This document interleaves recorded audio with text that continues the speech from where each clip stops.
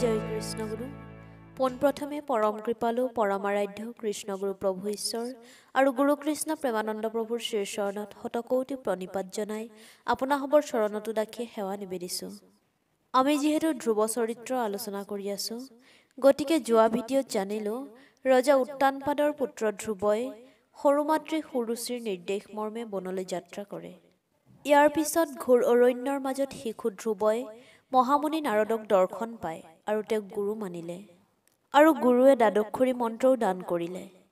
আজি আমি আলোচনা কৰিম ধ্ৰুৱৰ প্ৰতি নাৰদৰ উপদেশ আৰু ধ্ৰুৱৰ তপস্যা য'ত পাম কেনেকৈ ভক্তিপ্ৰাপ্ত হ'ব পাৰি কোন পথেৰে গতি কৰিলে গতিমুক্তি লাভ হয় কোনটো পথত ঈশ্বৰ প্ৰাপ্তি হয়।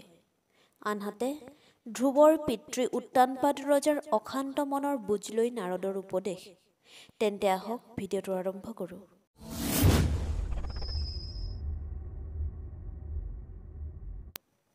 শিশুভক্ত ধ্ৰুৱৰ ভক্তিপূৰ্ণ মিনতিত সন্তুষ্ট হ'ল নাৰদ মুনি। মহন্ত নাৰদে ধ্ৰুৱৰ প্ৰতি ভক্তি উপদেশ বাণী প্ৰদান কৰিবলৈ ধৰিলে।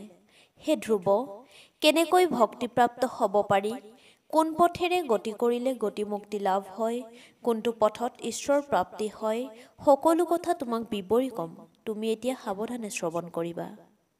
এই ভৱসাগৰত হৰিভক্তিৰ সমান শ্ৰেষ্ঠ বস্তু একোৱেই নাই। মহাপ্ৰেমময় ঈশ্বৰৰ প্ৰতি কৰা ভক্তিতে সৰ্বকাৰ্য সিদ্ধি হয়। ভক্তিতহে হৰিকৃপা লাভ হয়। হৰিৰ কৃপা লাভ হ'লেই ধৰ্ম অৰ্থ কাম মোক্ষকে জিনিব পৰা শক্তি লাভ হয়। হৰিনাম আৰু হৰিভক্তিয়েই হ'ল মূল ধাৰা। গতিকে তুমি গুৰুমন্ত্ৰকে সাৰ কৰি শুদ্ধ চিত্তে দেহ মনৰ পবিত্ৰতাৰে একান্ত চিত্তে কাৰো প্ৰতি কপট ভাৱ নাৰাখি হৰিক ভক্তি কৰা। হৰিনাম জপ কৰা। তেতিয়া তোমাৰ মনৰ পৰা সমস্ত মলিনতা কলুষতা দূৰ হৈ নিৰ্মল ভক্তি লাভ হয়। আৰু জগত ঈশ্বৰক তুমি সহজে লাভ কৰিব পাৰিবা। এতিয়া তুমি স্নান পান কৰি শৌচশুদ্ধি হৈ পবিত্ৰ মনেৰে যমুনাৰ পাৰত তৃণাসন পাৰি ধ্যানাসনত বহিবা। একান্ত চিত্তেৰে ওম নমো ভগৱতে বাসুদেৱাই এই দ্বাদক্ষৰী মন্ত্ৰ অবিৰাম জপ কৰিবা। একান্ত চিত্তে দৃঢ় বিশ্বাসে জপ কৰি গম্ভীৰভাৱে হৰিক আৰাধনা কৰিবা। নাৰদমুনিয়ে ভক্ত ধ্ৰুৱক নানান ভক্তি উপদেশ দি আশীৰ্বাদ কৰিলে। মহাবৈষ্ণৱ নাৰদে হাতৰ দিব্য বীণা যন্ত্ৰত নাৰায়ণ নাৰায়ণ নাৰায়ণ নামৰ ঝংকাৰ তুলি মুখে নাৰায়ণ নাৰায়ণ উচ্চাৰি নিস্থানলৈ গমন কৰিলে। গুৰু নাৰদৰ উপদেশ শিৰোধাৰ্য কৰি মহামানী ধ্ৰুৱই সেই ক্ষণতে মধুবনলৈ যাত্ৰা কৰিলে। যমুনা নদীত স্নান কৰি তৃণাসন পাৰি পদ্মাসনত বহিল। গুৰু নাৰদৰ উপদেশ বাণী শিৰত তুলি মনৰ সমস্ত ভাৱ বিচাৰ হৰিচৰণত অৰ্পণ কৰি দ্বাদক্ষৰী মন্ত্ৰক সাৰ কৰি নিৰন্তৰে গুৰুমন্ত্ৰ জপ কৰিব ধৰিলে। মহামতী ধ্ৰুৱই কঠোৰ সাধনাৰ প্ৰথম মাহৰ প্ৰথম সপ্তাহত তিনিদিনৰ অন্তৰে অন্তৰে বগৰী ফল খাই থাকিল। দ্বিতীয় মাহত ছয়দিনৰ মূৰে মূৰে মাত্ৰ গছৰ পকা পাত ভক্ষণ কৰিলে। তৃতীয় মাহত ন দিনৰ মূৰে মূৰে মাত্ৰ জলপান কৰিলে। চতুৰ্থ মাহৰ বাৰ দিনৰ মূৰে মূৰে কেৱল বায়ুহে ভক্ষণ কৰিলে। পঞ্চম মাহত মহাভক্ত ধ্ৰুৱই বায়ুকো নিৰোধ কৰিলে। মহাভক্ত ধ্ৰুৱই এখন ভৰিৰে ভূমি স্পৰ্শ কৰি দ্বিতীয়খন ভৰি গছৰ মূঢ়াৰ দৰে ৰাখি কেৱল বায়ু নিৰোধন কৰিলে। এনেদৰে পঞ্চবয়সীয়া ধ্ৰুৱই কঠোৰ সাধনাৰে হৰি আৰাধনা কৰিব ধৰিলে। ইফালে ধ্ৰুৱ বনলৈ যোৱাৰ পাছতে মহাৰাজ উত্তানপাদে পুত্ৰ বনলৈ যোৱাৰ খবৰ পাই বিৰহত শোকাকুল হৈ পৰিল। ৰজাৰ মনত সুখ শান্তি নাইকিয়া হ'ল। অনাহাৰে অনিদ্ৰাৰে থাকি পুত্ৰক স্মৰি ব্যাকুল হৈ পুত্ৰ বিৰহত ৰজা ম্ৰিয়মান হ'ল। ৰজাৰ এনে দুদুল্যমান উগুল থুগুল অৱস্থাতে নাৰদ আহি উপস্থিত হ'লহি।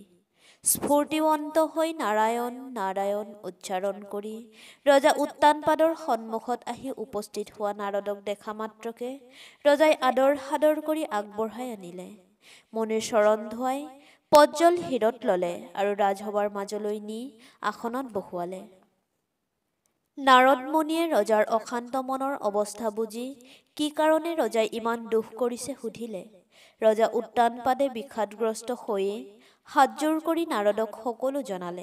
হে ঋষিবৰ এই পাতকীয়ে পৰম অন্যায় কৰিলোঁ।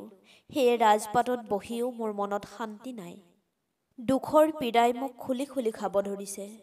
মোৰ প্ৰাণে আৰু দুখ সহ্য কৰিব নোৱাৰা হৈছে। ঋষিবৰ তুমিতো জানাই মই নৰেশ্বৰ। কিন্তু প্ৰজাৰ ৰজা হলেও প্ৰকৃততে মই ভাৰ্যা সুৰুচিৰ হাতৰ খেলৰ পুতলাহে। মোক সুৰুচি ভাৰ্যাইহে দিহা পৰামৰ্শ পৰিচালনা কৰে। এতিয়া মই সুৰুচিৰ মায়াজালত বন্দী।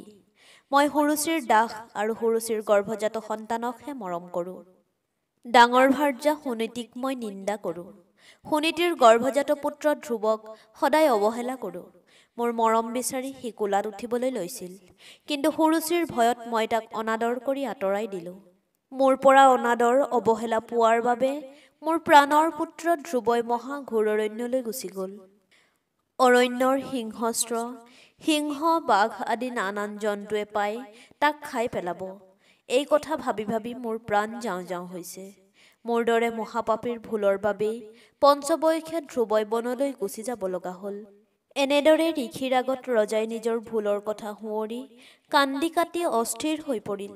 তাকে দেখি সৰ্বজ্ঞ মহামুনি নাৰদে ৰজাক সান্তনা দি কলে হে ৰাজন তুমি মনৰ পৰা সকলো দুখ বেজাৰ এৰি পেলোৱা। ধ্ৰুৱৰ বাবে তুমি অলপো নাকান্দিবা ধ্ৰুৱৰ কথা তুমি মিছা চিন্তা কৰিছা। ধ্ৰুৱ এতিয়া কুশলে আছে। তেওঁৰ কোনো দিন বিপদ আপদ হোৱা নাই আৰু নহয়ো। কাৰণ স্বয়ং নাৰায়ণে তেওঁক সদায় ৰক্ষা কৰি থাকিব। ধ্ৰুৱৰ ভক্তিতে নাৰায়ণ তুষ্ট হ'ব আৰু মহাকৃপা দান কৰিব। পৰমেশ্বৰ নাৰায়ণৰ কৃপাত তোমাৰ পুত্ৰই পৰম পদ লভিব। গতিকে তুমি ধ্ৰুৱৰ চিন্তা এৰা। ধ্ৰুৱই পৰম গতি লাভ কৰিব ই ধুৰুপ। অতি সোনকালে তেওঁৰ ঈশ্বৰৰ দৰ্শন হ'ব। এনেদৰে মুনিবৰ নাৰদে উত্তানপাদ ৰজাক সান্তনাবাণী প্ৰদান কৰিলে। তেতিয়া ৰজাৰ মনো শান্ত হ'ল। এইবাৰ পৰম গুৰুজনাই ব্যক্ত কৰিলে সেয়ে আমি সকলোকে কৈছোঁ ভগৱন্ত পুৰুষৰ যশ গুণ কীৰ্তন কৰিলে মনৰ মল দূৰ হয় ক্লেশ নাইকিয়া হয় দুখ কষ্ট লাঘৱ হয়। মহানন্দ আৰু মহাশান্তি লাভ হয়। সেয়ে মানুহে হৰিনাম জপ শ্ৰৱণ কীৰ্তন স্মৰণ সততে কৰিব লাগে। ঈশ্বৰ ভক্তিৰ বলত মহাগতি প্ৰাপ্ত হয়। জয় কৃষ্ণ গুৰু।